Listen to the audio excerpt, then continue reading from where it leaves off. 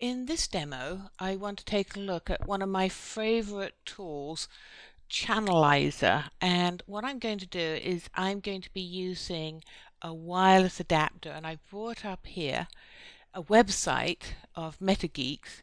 And you can see up here the different types of adapters. So I've plugged one of these adapters in and I'm actually running Channelizer 4. So let's take a look at that now. So I've brought up the channelizer tool and you can see already that it's starting to pick up signals in the 2.4 gigahertz band. Now how do I know this is the 2.4 gigahertz band? See here is displaying the different frequencies across the 2.4 gigahertz band. Down here you can see the actual networks that it's discovering and you can see here's Avril's network. I have one access point on channel 1 and you can see I've got security of WPA2. Over here you can see I've got a second access point. Now this is an 802.11n that's operating on a 40 megahertz channel. So it's going across channel 11 as the primary and channel 7 as the secondary. So whereas this is a 20 megahertz channel, this one here is a 40 megahertz channel. This is my network operating in the 5 gigahertz band up on channel 36. And this one here, if you go across, this is actually an ad hoc network. And we'll talk about the difference between ad hoc and infrastructure later on.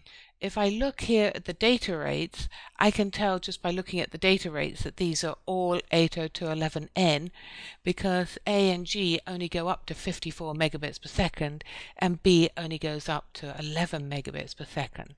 So let's take a look at what these look like. I'm going to click on Avril's networks here and we'll display those.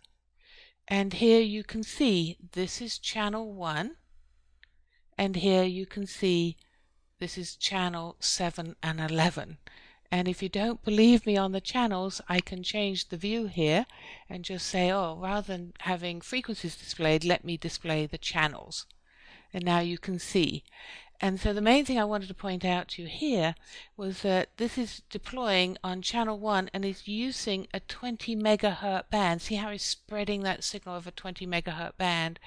Whereas up here in the higher part of the 2.4 gigahertz band, I've got a 40 megahertz channel, so it's twice as wide, operating on channel and 7 and 11. So it's added those two channels together. Now I can also here display the iMac here. I turn that one on and you can see that's deployed on channel 5 and you can see that it overlaps with my other access points. And so when you see that, you know there's going to cause interference with each other. So let me just turn the iMac off. So the other thing I wanted to show you was the kinds of signatures. Now I can tell by the square shape of these signals like this, this square shape here, that this is an OFDM signal. And so different radios have different signatures. And so by looking at the signatures, I can kind of tell what might be transmitting. So if I come down here a bit, here you can see the types of things. See, this is an, an 802.11b radio, gives me this kind of curved look to it. If I come down a bit more, here's some examples here of a cordless phone.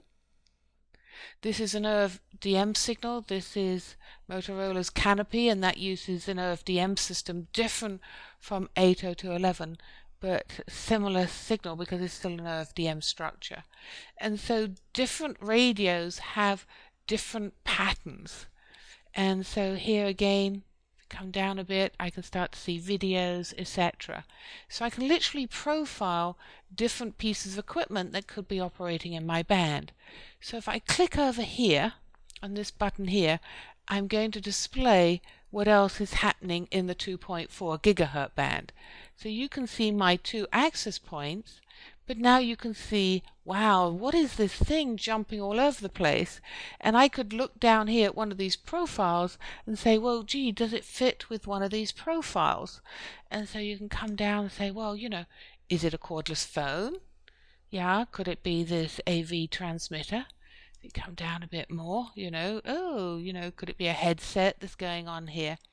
Now, to keep you out of uh, suspense as to what this actually is, is this is actually a proprietary technology. And so this is a technology which would be very difficult to actually determine what it is based on the signatures because this is actually proprietary and it's not a known signature. This is actually my solar power system.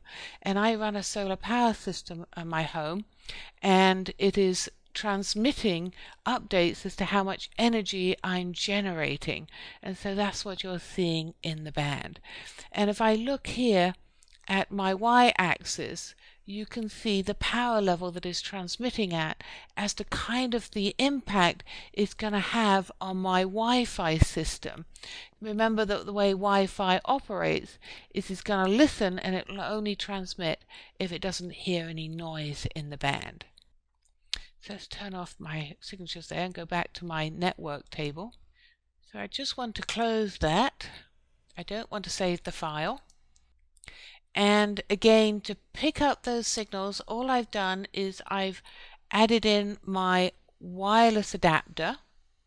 I'm running Channelizer 4 as my application and I'm picking up signals in the 2.4 gigahertz band and you can see that 802.11n uses a 20 and a 40 megahertz channel in the 2.4 gigahertz band. So the main thing here is to understand the frequency band that I'm looking at and then that my signals actually operate across a band. In the case of Wi-Fi that's a 20 or a 40 megahertz channel. So I hope you really found that valuable because a lot of people really get confused between what's a channel band and what's the frequency band and what does all that mean. So play with this. Take a look what's happening in the band. You can take your tool, your wireless adapter in the laptop and walk closer to the source of interference. You're going to find those signals will get stronger. As you move away, they get weaker. So play with these tools. And again, I'm not recommending Channelizer and the Wi-Spy tool. This is simply the tool that I use because it's very, very easy to use, is simple to understand, and it's a really good tool to get yourself going. I use it a lot when I go to conferences just to explain the basics of frequency channels and channel bandwidths.